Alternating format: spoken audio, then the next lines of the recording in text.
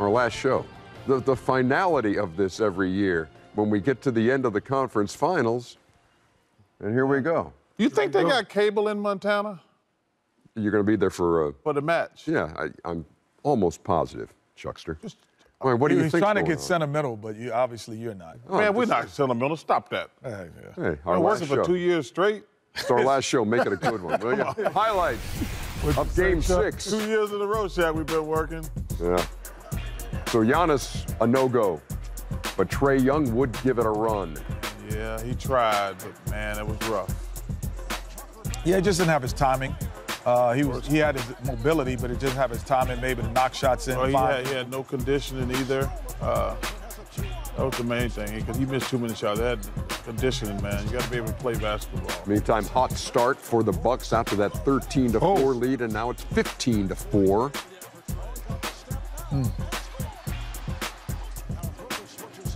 Young did hit that floater, and then Brook Lopez once again. Hmm. Off- Jeff oh, Teague, the Bully ball. former Hawk, connects for three. Didn't get a lot of playing time, but hit that shot. Got to be ready. Hmm. Young takes it himself. Trae Young had 14 points, 4 of 17, 0 of 6 from That three, man right and there. five turnovers. Ooh, ooh, he turned it on when they needed the last two games. Mm. throwing up the glass. Connaughton ahead of the pack.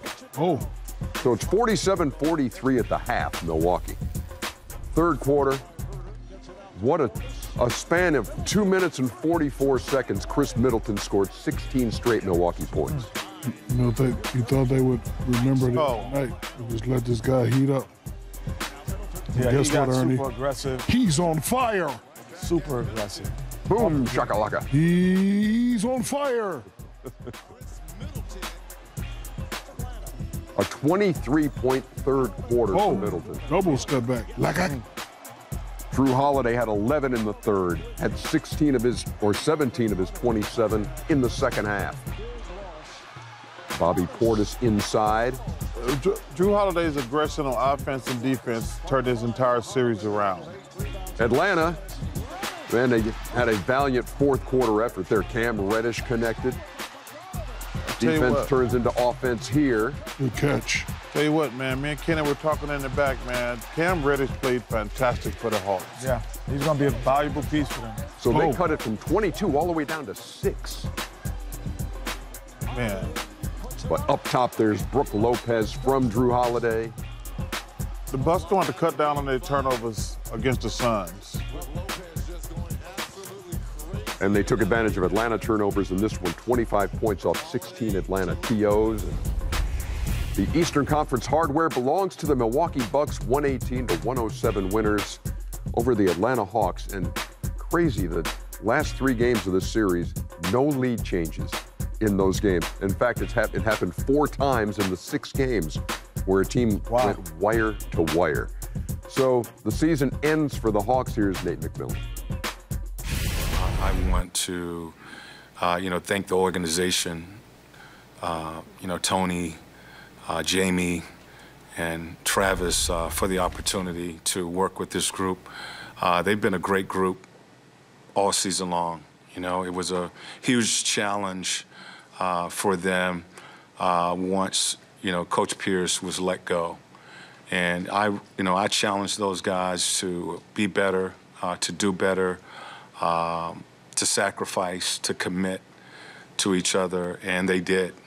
Um, and you know, it just shows that uh, when you get a group of guys just working together um, for the same common goal, uh, they have talent. Every NBA team has talent. Uh, you can win games. And you know what they uh, did uh, this season uh, is, is no, it wasn't luck wasn't involved.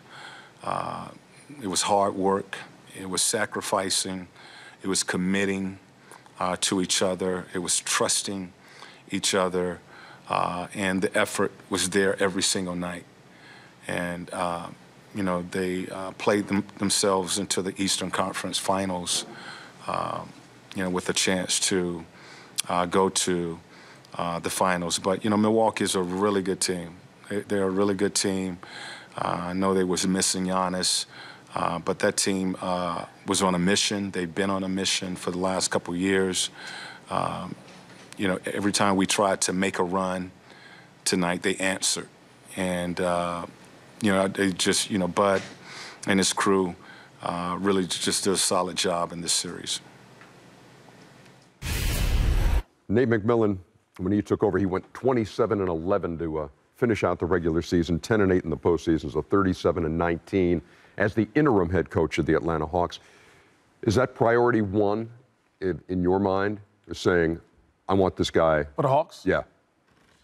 Uh, I think priority one, I, I think that priority is going to work itself out. I think priority one is John Collins uh, because you have a, a group that either is going to grow together or they're going to separate when they start to hit strides. And, uh, you know, so I think the talent, he said that group is talented. Your talent is, I think, priority one uh, for the Hawks because um, it's really, I think, up to Nate. No, I You think uh, I think Nate's priority one. Nate is priority one. Yeah, but it's still his the choice. Yeah, no, but I'm saying getting him signed is priority one. The, the, the John Collins thing is going to be interesting uh, because he wants a max deal, and the way the NBA works, you can't pay everybody. Uh, so uh, it's going to be very. He, first of all, he played terrific, but you just can't pay everybody, and you have to ask yourself: if I give this guy all this money, are we going to get this far in the playoffs next year? Because if you look at the Eastern Conference, they won't be favored in the Eastern Conference next year to get this far. Because, you know, Philly's going to do something. They're not betting Milwaukee. They're not betting New Jersey, Brooklyn, excuse me. Uh, the Celtics, uh, I, you, I don't even think you can really say they're better than the Celtics. But once you start giving guys long-term deals, the first question you have to ask yourself is, what's our ceiling with this guy? Especially when you start giving. So don't you think that's that, that's what I'm saying? Don't you think that's a big priority then? No, Like, you got to because get that that's coach. the, that's. no, because that, that- you can't take. No, I'm not going. I think Nate McMillan is it's in his court. No, no, but not I'm saying, but I'm court. saying, well, the Hawks need to make Nate their priority because that did dude did a hell of a job. Yeah. Yeah. And I think if you do sign Nate, you know, the way they played, you know, how they played, I think you can attract a couple more, I won't say big name, but medium name free agents, you know, a couple more, you know, veterans. And, and Chuck, I agree with you. It's going to be interesting about John Collins. I know a couple years ago he turned down 90 million. I don't know what the max is, so hopefully he gets somewhere in between that. But Let's take a look. the- Let's take a look at their at their season recap, if we can. And I want to say something. You know, man, um, whoever's been drafting for the Hawks and making trades and signs, they've done a fabulous job. Clint Capela is a great pickup. Bogdanovich. Well, Travis Schlenk is their Uh, GM. Travis Schlenk is a um, uh, Gallinari played fantastic. Um, I'm trying to think. Uh, Lou Williams was a great trade. DeAndre, uh, they- listen, they, listen, think about it. They didn't have DeAndre Hunter and missing. Me and Ken were uh, talking in the back. Huerter's fantastic too. Man, we love Cam Reddish. He missed a lot of time and came back and played terrific.